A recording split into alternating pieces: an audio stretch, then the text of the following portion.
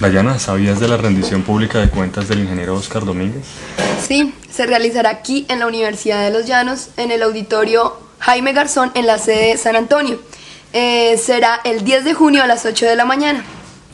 Bueno, están cordialmente invitados a la audiencia pública de rendición de cuentas del ingeniero Oscar Domínguez y lo podrán ver a través de www.zoomcanal.com.co y radio.unillanos.edu.co. No faltes.